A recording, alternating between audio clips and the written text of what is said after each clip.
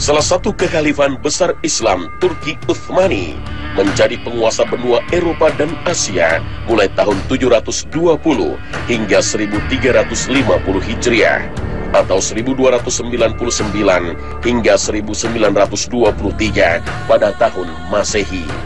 Salah satu raja Turki Uthmani yang termasyhur, Sulaiman Al-Qanuni bin Salim, adalah keturunan Sultan Fatih, sang penakluk Konstantinopel. Bangsa Barat mengenal sang Raja Sulaiman sebagai Sulaiman yang Agung atau Sulaiman the Magnificent. Pemerintahan Raja Sulaiman Al-Qanuni bin Salim berlangsung selama 48 tahun, merupakan pemimpin yang paling lama berkuasa dibanding raja-raja dari Turki Uthmani lainnya. Ketika Sulaiman Al-Qanuni bin Salim memerintah negara kekhalifahan Turki Uthmani, beliau berhasil menjadikan kerajaan ini begitu kuat dan berkuasa. Hal itu nampak dari batas-batas wilayah kerajaan yang luasnya belum pernah disaksikan pada masa sebelumnya.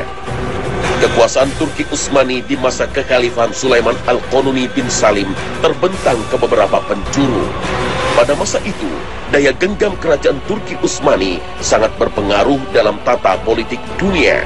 Tidak heran jika Sulaiman Al-Qanuni bin Salim merupakan salah satu penguasa dunia. Perkataan dan keputusan Sulaiman Al-Qanuni bin Salim menjadi rujukan dari para raja-raja dan pemimpin dunia. Salah satu keunggulan kerajaan Turki Uthmani di masa Sulaiman Al-Qanuni bin Salim adalah manajemen dan tata perundangan yang modern dengan menjalankan dan mengaplikasikan syariat Islam. Sistem perundangan Islami terjaga, mulia, dan menjadi prinsip hidup bagi bangsa Utsmani di setiap wilayah kekuasaan kerajaannya. Sistem perundangan atau kanun adalah pencapaian terbesar Sulaiman Al-Qanuni bin Salim. Dari sinilah nama Al-Qanuni menjadi bagian dari identitas beliau. Selain itu, ilmu pengetahuan dan sastra begitu maju, diikuti oleh perkembangan arsitektur dan pembangunan.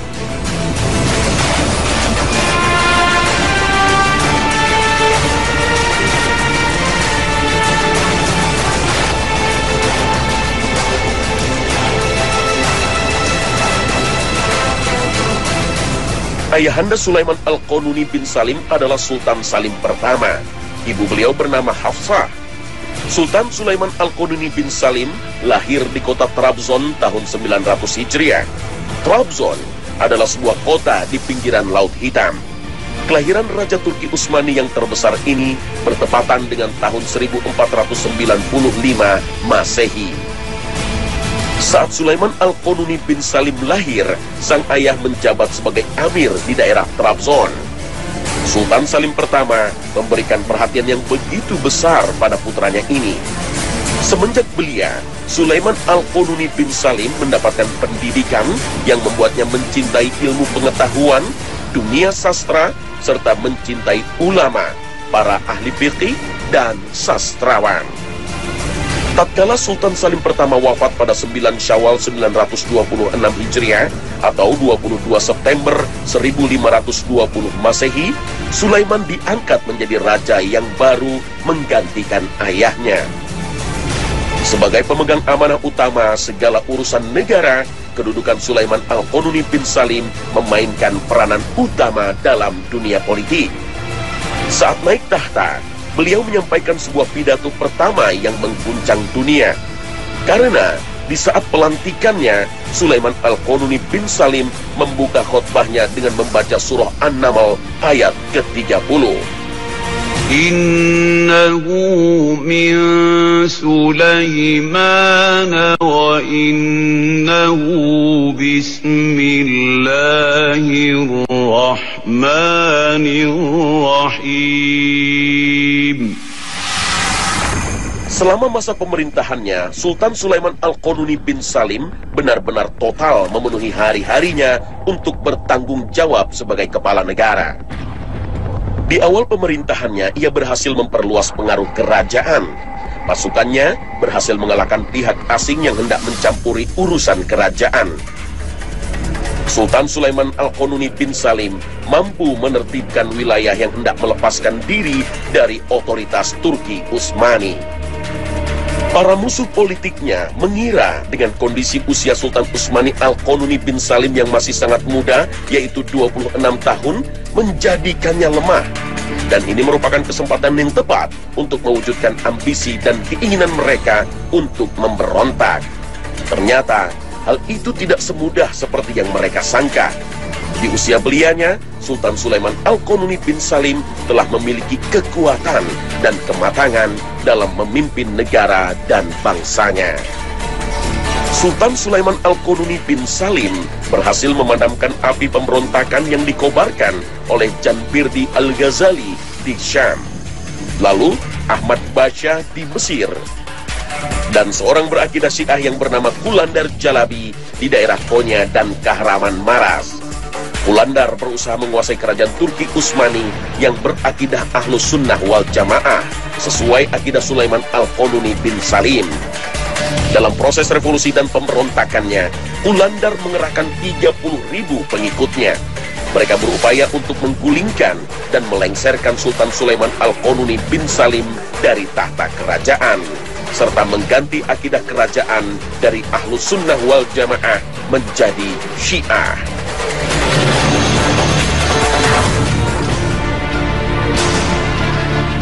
Pada masa pemerintahan Sultan Sulaiman Al-Qanuni bin Salim, terjadi beberapa kali peperangan. Hal tersebut berkonsekuensi menjadikan wilayah kekuasaan kerajaan Utsmani menjadi kian luas hingga mencapai Eropa, Asia, dan Afrika.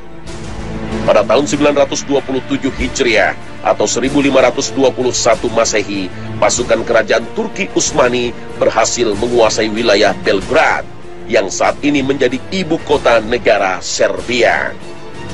Dan di tahun 935 Hijriah atau tahun 1529 Masehi, pasukan Turki Utsmani mengepung kota Vienna yang saat ini menjadi ibu kota Austria. Sayangnya dalam dua kali kesempatan, pasukan Sang Sultan tidak berhasil menguasainya. Hasil gemilang baru terlihat ketika menguasai Budapest yang saat ini menjadi ibu kota Hungaria. Pasukan Sang Sultan berhasil menguasai Budapest dan menjadi salah satu provinsi di bawah wilayah kerajaan Turki Utsmani. Di kawasan benua Asia, Sultan Sulaiman Al-Qanuni bin Salim menghadapi tiga kali peperangan besar dengan negara berakidah Syiah, yaitu kerajaan Safawi dari bangsa Persia, Peperangan antara kekhalifahan Turki Utsmani dengan kerajaan Safawi dimulai pada tahun 941 Hijriah atau pada masa 954 Masehi. Keberhasilan pasukan Turki Utsmani mengalahkan kerajaan Safawi mengakibatkan Irak menjadi bagian dari Daulah Utsmaniyah. Di tahun 995 Hijriah atau tahun 1548 Masehi, Tabriz yang masuk dalam wilayah kedaulatan negeri Iran menjadi bagian dari Utsmani. Dan pada tahun 1555 Masehi, Sultan Sulaiman Al-Qanuni bin Salim berhasil memaksa Shah Tahmas pertama yang menjadi Raja Iran mengikat perjanjian perdamaian, sekaligus menjadikan Utsmani berkuasa penuh atas Ariwan, Tabriz, dan Anatolia. Sultan Sulaiman Al-Qanuni bin Salim juga menghadapi Portugal di Samudra Hindia dan Teluk Arab. Dan pada tahun 1546 Masehi, Yaman, Oman, Ahsa, dan Qatar menjadi provinsi di bawah kekuasaan Daulah Utsmani. Penguasaan wilayah ini menyebabkan semakin kecilnya pengaruh Portugal di Timur Tengah. Di benua Afrika, utamanya negara Libya, sebagian besar Tunisia, Eritrea, Djibouti, dan Somalia, menjadi bagian wilayah Turki Utsmani di masa pemerintahan Sultan Sulaiman Al-Qanuni.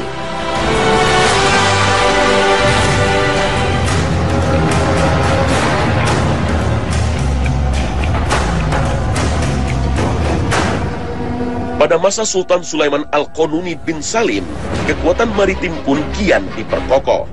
Panglima Angkatan Laut di masa kerajaan di masa pemerintahan Sultan Sulaiman Al-Qanuni bin Salim adalah Khairuddin Barbarossa. Dialah laksamana terkuat pada zaman itu yang menjaga wilayah kekuasaan Islam Turki Utsmani dari gangguan negeri Portugal. Laksamana Barbarossa adalah seorang panglima angkatan laut Utsmani yang tangguh. Ia berhasil menguasai pantai Spanyol dan menghancurkan angkatan laut pasukan salib di laut Mediterania. Laksamana Khairuddin Barbarossa memiliki peranan yang signifikan dalam membantu Sultan Sulaiman menghadapi orang-orang Spanyol. Beliau adalah penyelamat ribuan muslim Spanyol dari kekejaman bangsa Kristen Eropa. Pada tahun 935 Hijriah atau 1529 Masehi, kapal-kapal laut Utsmani diberangkatkan menuju pesisir Spanyol untuk mengangkut sekitar 7.000 muslim Spanyol. Mereka berstatus sebagai buruan pemerintah Kristen Spanyol. Muslim Spanyol di masa itu, jika tidak dibunuh, akan dipaksa memeluk Kristen. Jika menolak, mereka akan menjadi budak.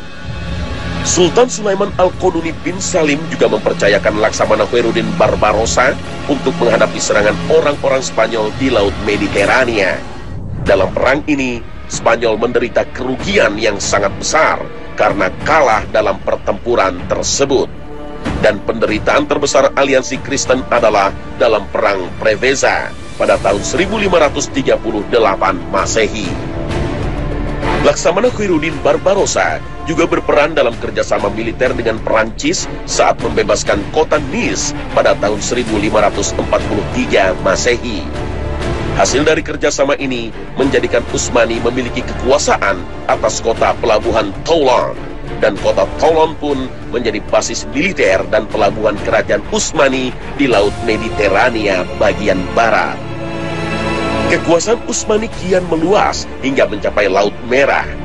Sultan Sulaiman Al-Qaduni bin Salim berhasil mengusir orang-orang Portugal dari wilayah tersebut. Di Afrika, negeri Habasyah pun menjadi bagian dari Utsmani. Jalur-jalur perdagangan antara Asia dan dunia barat melewati wilayah negara Islam Turki Utsmani.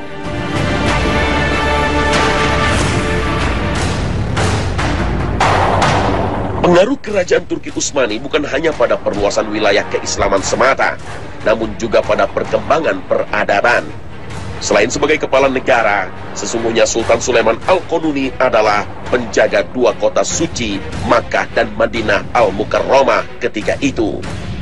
Tak heran jika torehan karya anak bangsa Turki Utsmani masih bisa kita temui pada bentuk arsitektur Masjidil Haram dan Masjid Nabawi saat ini. Sang Sultan yang menjadi sosok pemimpin bangsa adalah juga sosok yang mahir dalam bersyair, menulis kaligrafi, dan menguasai beberapa bahasa timur. Sultan Sulaiman Al-Qanuni juga suka dengan batu mulia, mendalami arsitektur dan konstruksi bangunan. Hal ini berdampak pada pembangunan di seluruh wilayah kerajaannya. Sultan Sulaiman Al-Qanuni membangun beberapa bangunan utama seperti benteng di Rhodes, Belgrad, dan wilayah Iran. Sultan Sulaiman Al-Qanuni juga membangun masjid-masjid di wilayah Eden, Yaman, dan Al-Qanatir Al-Khairiyah, Mesir, serta di berbagai penjuru wilayah Turki Utsmani, khususnya di Damaskus, Mekah, dan Baghdad. Sultan Sulaiman Al-Qanuni juga menunjukkan seni arsitektur pada bangunan-bangunan di ibu kota dan berbagai daerah. Seorang sejarawan yang bernama Jamaluddin Falih Al-Kailani mengatakan, masa kepemimpinan Sultan Sulaiman Al-Qanuni merupakan masa keemasan Daulah Utsmani. Karena pada masanya, Turki Utsmani menjadi satu-satunya negara adidaya di muka bumi dan memiliki dominasi kekuasaan di Laut Mediterania. Pada masa pemerintahan Sultan Sulaiman Al-Qanuni juga muncul arsitek-arsitek ulung dalam sejarah Islam. Salah satunya adalah Sinan Basha yang berperan besar dalam pembangunan-pembangunan kerajaan Turki Utsmani. Sinan Basha juga yang memberikan sentuhan khas akan arsitektur Utsmani, sehingga orang dengan mudah mengenal bangunan-bangunan Utsmani. Arsitek lainnya adalah Mimar Sinan ia membangun Masjid Sulaiman Al-Qanuni atau dikenal juga dengan Jami As-Sulaimaniyah di Istanbul pada tahun 964 Hijriah atau 1557 Masehi. Masjid Sulaiman Al-Qanuni adalah salah satu bangunan terbaik yang dibangun oleh seorang arsitek Islam yang bernama Mimar Sinan.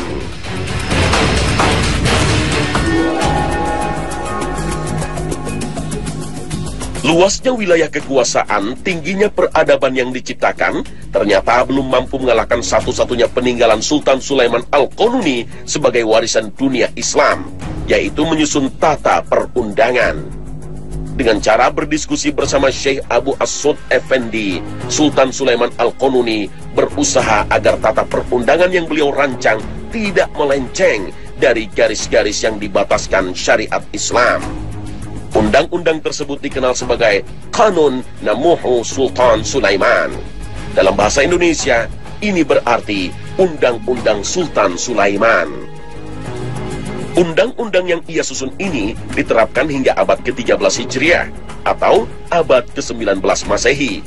Karena konsistensi Sultan Sulaiman Al-Qanuni dalam menerapkan undang-undang yang beliau susun mendapat julukan Al-Qanuni. Sejatinya, Berbagai gelar sematan bangsa Eropa kepada Sultan Sulaiman Al-Qanuni seperti The Magnificent atau The Great tidak memiliki pengaruh dan kesan yang mendalam dibanding gelar Al-Qanuni.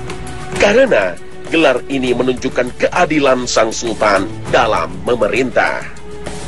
Masa Turki Utsmani pada saat Sultan Sulaiman Al-Qanuni memerintah menjadi zaman keemasan karena luasnya wilayah kekuasaan Turki Utsmani seimbang dengan kesempurnaan administrasi pemerintahan dan tegaknya syariat Islam berdasarkan Al-Quran dan Hadir.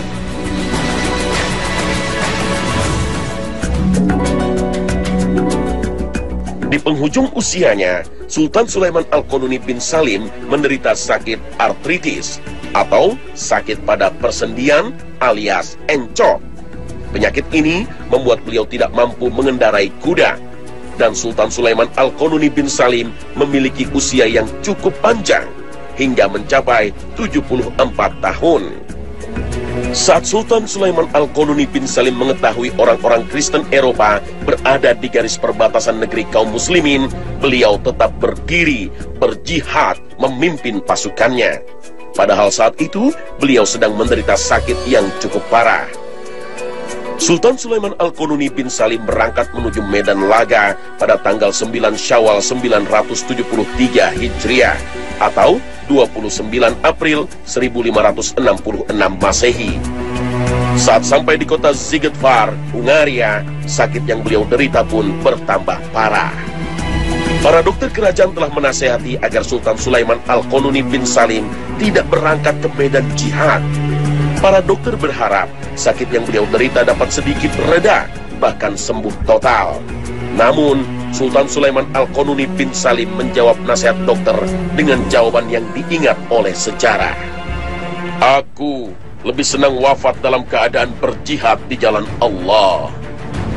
Sultan Sulaiman Al-Qanuni bin Salim pun mengepung kota Zigetvar setelah dua minggu mengepung, pasukan Islam mampu mencapai garis depan dan pertempuran pun pecah.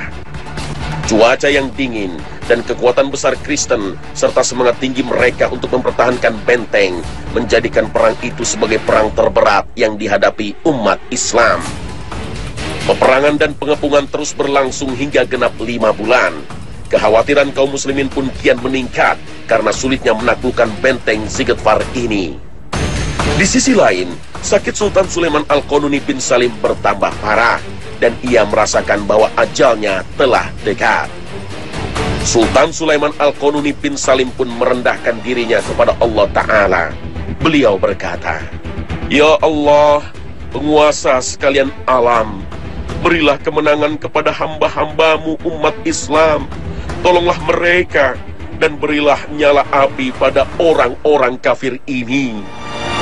Allah Ta'ala mengabulkan doa Sultan Sulaiman. Salah satu peluru meriam umat Islam menghantam gudang mesiu pasukan kafir. Ledakan dahsyat pun terjadi. Benteng bangsa Kristen pun jebol. Umat Islam pun menyerang habis-habisan. Dan pada akhirnya bendera Sulaimaniyah berhasil berkibar di puncak benteng. Betapa gembiranya Sultan Sulaiman Al-Qanuni bin Salim dengan kemenangan tersebut. Beliau memuji Allah atas nikmat yang agung ini. Lalu Sultan Sulaiman Al-Qanuni bin Salim berkata, Sekarang, selamat datang wahai kematian. Selamat datang kebahagiaan, kemenangan, dan semoga menjadi kemenangan yang abadi. Berbahagialah jiwa yang ridha dan diridhai, yaitu mereka yang Allah ridhai dan mereka juga ridha kepada Allah. Sultan Sulaiman Al-Qanuni bin Salim wafat pada tanggal 20 Safar 974 Hijriah atau 5 September 1566 Masehi. Putra mahkota Sultan Salim II mendapatkan kabar wafatnya Sultan Sulaiman Al-Qanuni bin Salim dari Muhammad Basya. Sultan Salim II berangkat menuju Sigetvar untuk menjemput jasad sang ayah. Ia membawanya kembali menuju Istanbul. Bagi barisan umat muslim, hari itu adalah hari yang penuh duka cita. Umat Islam merasakan kesedihan dan kehilangan yang sangat mendalam.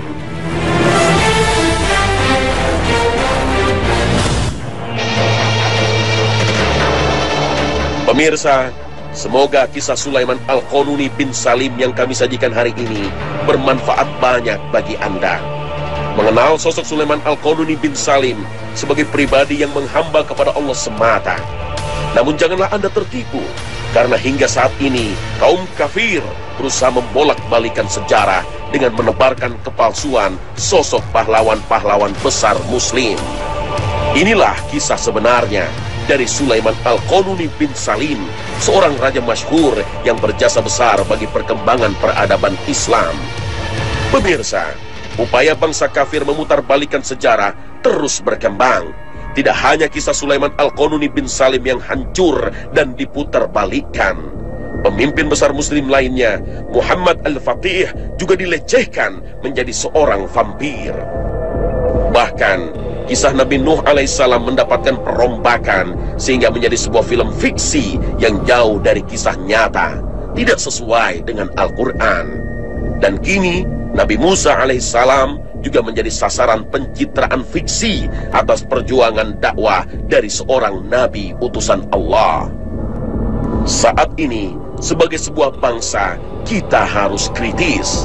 Penayangan kisah Sulaiman Al-Qaduni bin Salim hari ini bukan untuk membangkitkan euforia islami di masa lalu.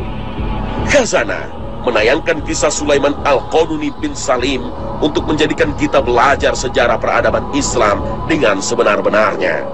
Bukan dari sebuah tayangan fiksi yang berniat melecehkan dan merendahkan perjuangan seorang pejuang agama Allah. Pemirsa, sudah saatnya kita memilih referensi yang tepat agar belajar sesuai dengan maknanya, yaitu sebagai sebuah pelecut semangat agar kejayaan di masa lalu mampu terwujud di masa depan. Bangsa Muslim Indonesia harus belajar banyak dari sejarah dari era dakwah Rasulullah Shallallahu Alaihi Wasallam hingga ke masa kekhalifahan Islam.